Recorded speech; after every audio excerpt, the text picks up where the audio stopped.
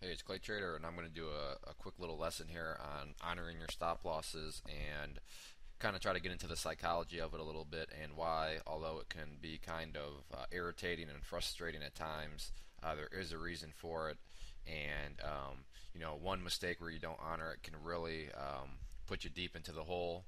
And I want to kind of illustrate that um, with an example today where I, um, you know, one of those frustrating times where I honored the, uh, my stop loss and then you know just to see the stock kind of reverse back up on me where I could have made some really good money. Um, but then I'm also going to show an example from yesterday uh, where if I hadn't honored the same sort of scenario, I would have really been burned. And um, it would just wouldn't have not. It would have probably ruined my whole month. Um, but before I get started, I just want to note that you know no shenanigans going on. Today is May 28th of uh, 2009. Um, so this is all you know from today and yesterday.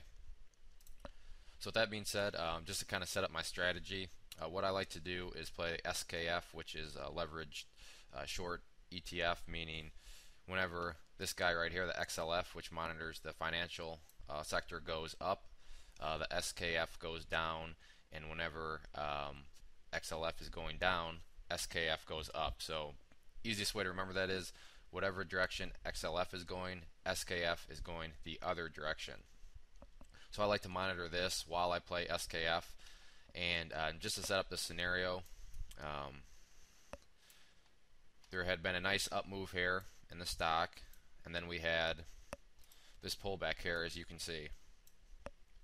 And then this, um, let me take a step back, and we're talking about a five-minute chart here. So this is from a day trading perspective. I should note, um, you know, this is not a daily chart or weekly chart. This is five-minute uh, which means each one of these bars represents five minutes of price action. But anyways, like I said, there had been a nice move up, and then there's a pullback. Uh, we have the, had the 50 period simple moving average swooping underneath here, and these uh, candles were all just uh, sitting right on top of it. So what I started to do was I thought this would bounce back up. So because I thought it would bounce back up, that means I thought the SKF would go down. Therefore, I started to build a short position in SKF. So let me bring up that.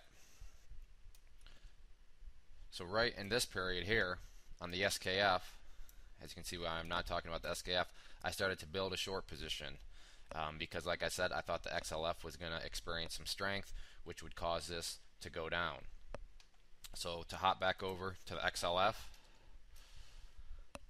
like I was saying, I had built up a nice um, position over an SKF where I'd gone short, and then to my disappointment, it broke out to the downside of this pattern.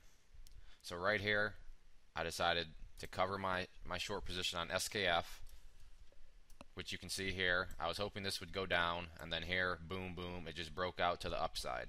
And this green line just represents, represents the same spot over on the XLF chart. So as I said, you know, that when the XLF was going down, you can see that the SKF is going up. So right here I covered.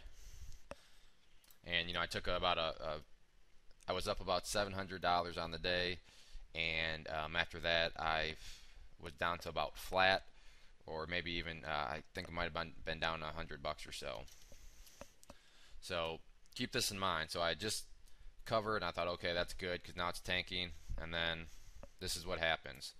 It bounces back up like I thought it would, and right there, this move. Now let's look what happened on the SKF, which I had been shorted. So I had shorted up here, and I covered when it had broken out. And then look at that thing just fall apart on me. That could have been a huge moneymaker for me right there. Had I just said, okay, you know what, let me just wait, let me just uh, hold out, let me just see what happens here. That move right there would have been um, a nice profit producer, and it would have been, uh, you know, I would have felt good. So this was this point in the day the psychology was, oh, you know, I should have just hung on. Um, next time I'm going to hang on. Um, you know, oh, shoot, you know, I was just very mad at myself. If I had a punching bag, I would have probably went Mike Tyson on it. Now let's go back a day or so ago, and remember, this is why you want to honor your stop losses. So same situation. Nice move up. We got a pullback, and now we're getting some sideways action. So now I did not play this, so this is um, you know this isn't uh, me, but this uh, sets up the same kind of psychology. Right here again, move up, pulling back, starting to go sideways. You could easily and be justified to build start to build a short position in SKF. Once again, we had the 50 period moving average sitting right here, so it was providing some nice support. And you could have said, okay, I'm going to go build a short position in X in SKF because I think this is going to break out to the upside, and that would have been a legitimate you know theory. I mean that everything would have held true uh, for technical analysis. So let's hop over to SKF real quick and see what this looks like. So here, you're thinking, you know what, I'm going to start to build a short position here because I think it's going to break and fall to the downside because I think the XLF is going to go up. So that's what the chart would have looked like. You know, it's it's been moving down. Here's a little, you know, up move. I don't think there's too much strength. You know what, that would have been fine. Now let's go back over the XLF. And here we get our breakdown. And let's say you don't um, honor your stop loss and you decide to hang on. You're thinking, okay, good thing I good thing I decided to hang on. We're bouncing back up here, and then you get this nasty candle, and then check out that volume, not what you want to see. Then you see this, and at this time you're probably about to sell maybe, but you're like, you know what? I just got a hammer candle here, so I'm gonna hang on. Got a hammer candle, that's good. And keep in mind, you could have cut your losses up here, but now your losses are even bigger. So you're thinking, okay, I want to hang on. I got a hammer candle.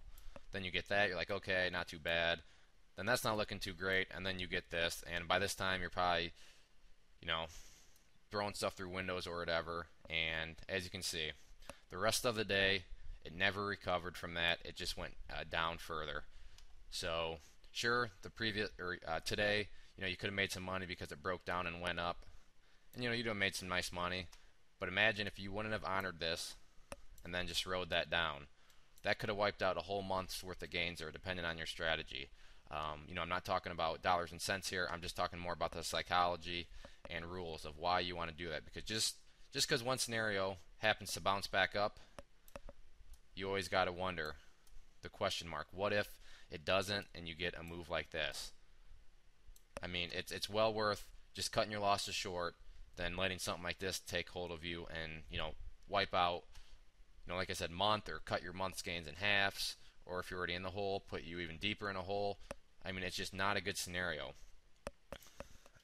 Especially when you look at the SKF. Remember, imagine that you had been short here, and you thought, okay, I'm just going to hang on. So you had shorted here. I'm just going to hang on. It's got to come back down. Got to come back down. You see that dip, you start to get a little excited, and then it just takes off on you the rest of the day. Once again, you know, sure, over here, uh, when it happened, you know, it had broken out and you thought, uh oh. And then it came back down and would have worked for you. But look at that if you had not honored your stop loss. So um, it's just uh, well worth keeping your stop loss. And also, although I got burned here, I did want to also show this. And once again, um, you know, today is May 28th. But like I said, I had I was up and then I got put down in the hole a little bit. And then right here, um, I ended up with um, you know a little over 500 bucks for the day. So I was able to fight back. But um, you know, could you imagine if I had been stuck in that thing yesterday and not honored the stop loss and had it gone against me? Sure, I still could have made $500 today. But what happens if I'd have lost five thousand, six thousand dollars? You know, yesterday it, it just it's not worth it when you look in the overall picture of things. So, um, and that's the other thing. You know, I bounced back up and I thought, oh, I could have made so much money, but you know what? I was still able to make money on the day, not as much as I could have, but it's just it's it's more beneficial to honor your rules. That's kind of the moral of the story I'm getting at here is um, don't let an event like this discourage you and say, hey, next time I'm going to hold on because I think it's going to pull one of these. Because what happens if it pulls one of these on you? I mean, that's that's nasty and that's not good for anybody. Uh, so I hope you uh, learned something. Don't get discouraged when your stop losses get knocked out because you know you could have once again one of these situations where it goes and then just never comes back. And you know that's one move like that can really uh, psychologically and also you know financially put a hurt on you. So um, just make sure you always honor those stop losses. And hope you learned something. Hope this made sense. And um, you know once again I'm just going to say it again honor those stop losses and um, you know maybe some short term frustration, but in the overall picture, you'll be glad you did. Thanks for listening.